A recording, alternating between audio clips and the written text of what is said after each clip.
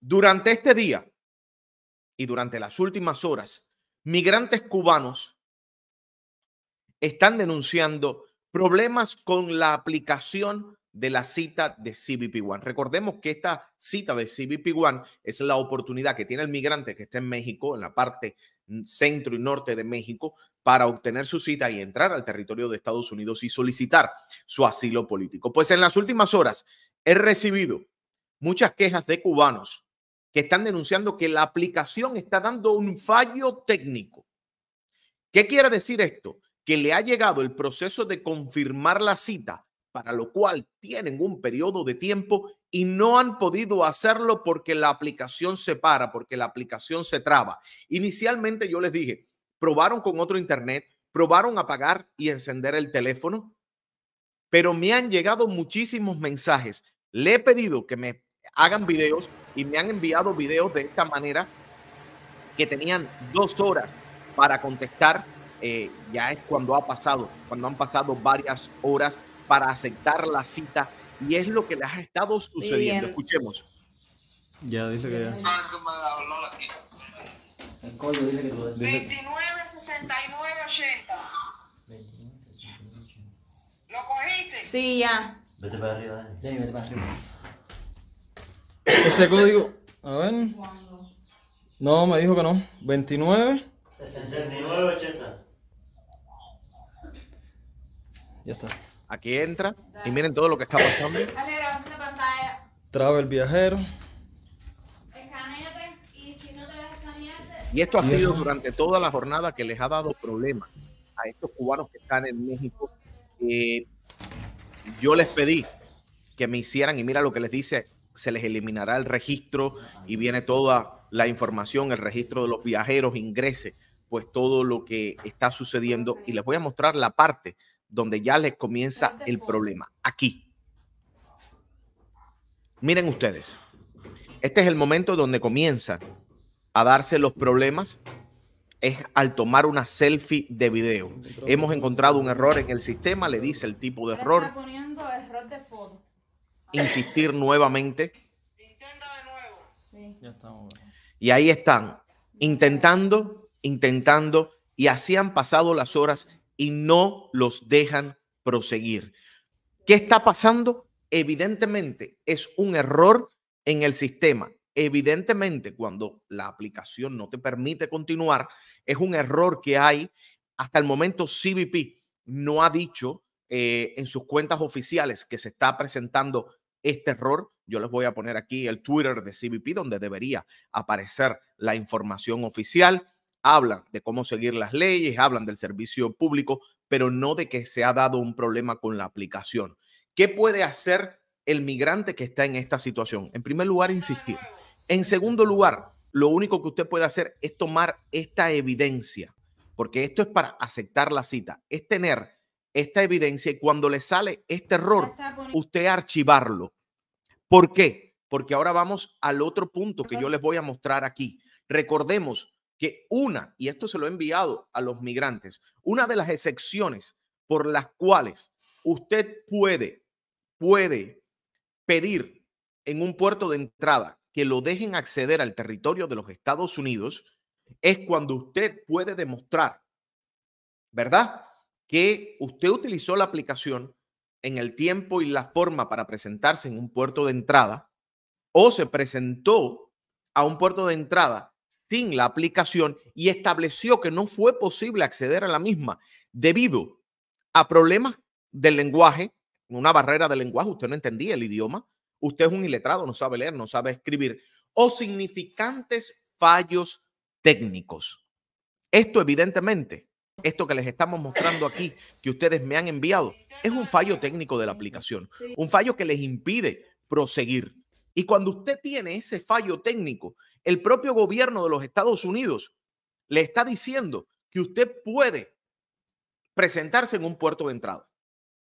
Y entonces miren aquí, les da este problema a los cubanos y así hay decenas que en el día de hoy no han podido programar una cita o no han podido confirmar su cita porque se ha encontrado este error en el sistema.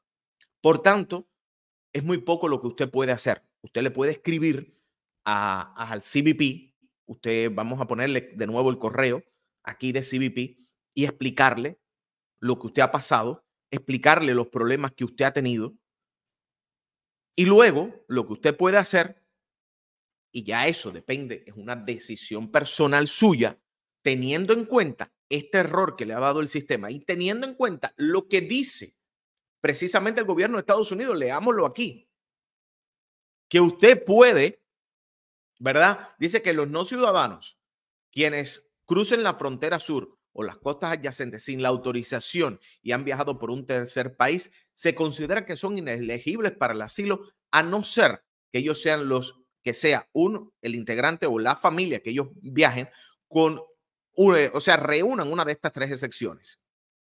Fueron autorizados para viajar bajo el proceso de parol humanitario, usaron la aplicación y usted tiene su cita, o se presentaron a un puerto de entrada sin la, aplica, sin la cita, pero usted logró establecer que usted no tuvo acceso a, las, a la cita o usar la aplicación debido a barreras de lenguaje, a que es iletrado o tuvo un significante fallo técnico.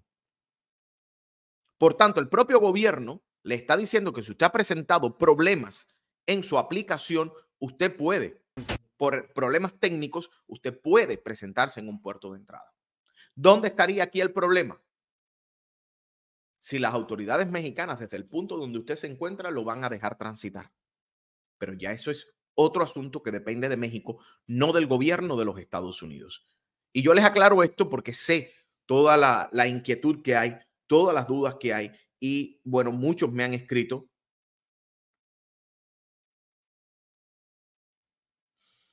y estoy contestando de esta manera sus dudas, sus inquietudes hasta donde yo conozco. Ahí está el correo de CBP One. Mira, alguien me dice, eh, esto no me puede afectar que me deporte o me busque problemas. Deportarlo, ¿por qué? Problemas, ¿por qué?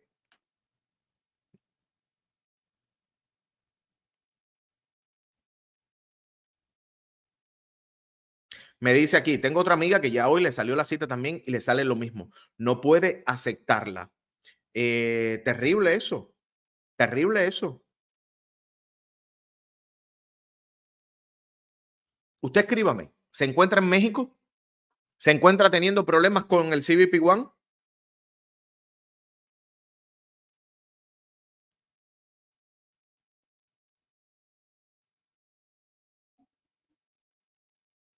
Alguien me pone, perdí mi cita, mi registro es del número 117.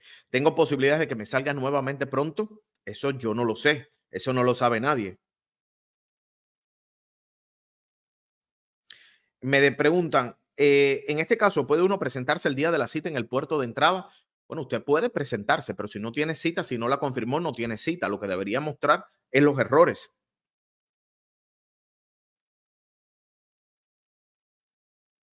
Eso le estoy contestando por mensajes.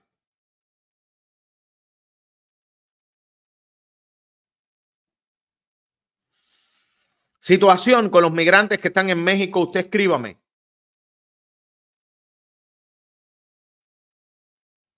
Usted escríbame si está en México. También dice que parte de los eh, y problemas técnicos también dice que los que te dejan pasar por el puerto que llegues con una enfermedad grave o que corra peligro de muerte en México por haber denunciado un secuestro o trata. Kenia, Daniel, buenas tardes, de Cuba, 88 días esperando mi permiso de viaje. Mi familia ya tuvo que irse y me quedé sola en este país. Terrible eso. Pocho, saludos. Eh, yo no soy Mario, soy Daniel. Un abrazo, gracias para ti. Se me venció el pasaporte y tengo el parol. Me afecta si me llega. Bueno, no tienes el parol. Tienes puesto una aplicación del parol. Evidentemente, cuando te aprueben a tu patrocinador, que es el primer paso, tú vas a tener que llenar eh, el CBP y ahí pones tu, tu pasaporte nuevo. Así que denunciando lo que están pasando migrantes cubanos con esta situación de, de las aplicaciones, de las citas de CBP One, con los errores que está dando en el día de hoy. Y de momento, CBP no dice qué está pasando con la aplicación y si están resolviendo este problema que, repito, está afectando a cubanos que se encuentran en México y que me han escrito y me han enviado este video.